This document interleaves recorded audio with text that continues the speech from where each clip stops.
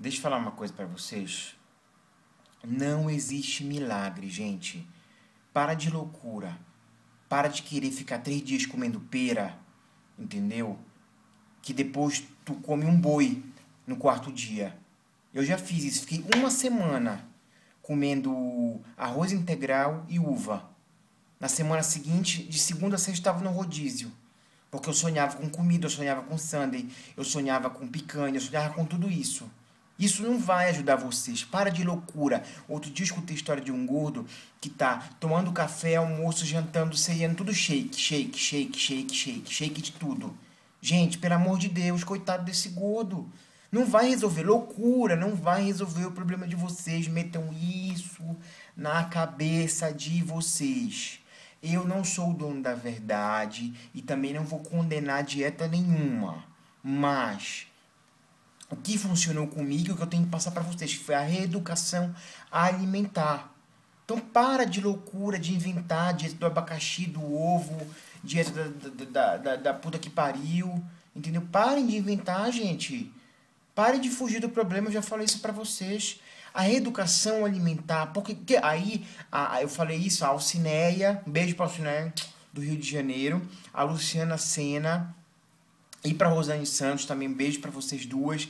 Me perguntaram assim: o que, que é reeducação alimentar? Reeducação alimentar, você trabalha com os grupos alimentares. Então tem o carboidrato, que é arroz, fe, é, arroz é, macarrão, batata, enfim. E tem os, a proteína, que é, são as carnes, tem a proteína é, que é vegetal, que, que é o feijão, enfim. Tá tudo aí no post. Lê no post que eu vou explicar o que, que eu faço na minha, na minha reeducação alimentar. E, e, isso faz com que você não fique preso a um único cardápio, entendeu? Então, por exemplo, você chega num lugar, ai, não tem o meu abacaxi, não tem minha, minha, minha sei lá, o que, a puta que pariu pra eu comer, aí eu não vou ficar com, com fome. Não! A reeducação alimentar tá aí no nome, na reeduca.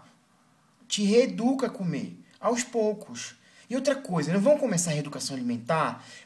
É, é, é preciso perder 35 quilos. Vou começar com, com, com 600 calorias. Tá ficando doida? Aí, quando tu vai perder, tu vai perder 15 quilos no primeiro mês. No segundo, eu vou te dizer o que vai acontecer contigo, tu não vai perder nada. Aí tu vai para passar para quanto? Para 300 calorias? Aí tu vai morrer.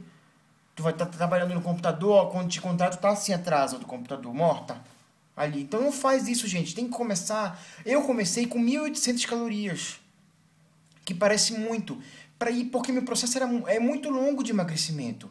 Tem que ter o que cortar depois. Então, 1.800, depois não perdia mais com 1.800, quando você não perde mais. Aí você diminui 1.600, 1.400, 1.200, 1.000.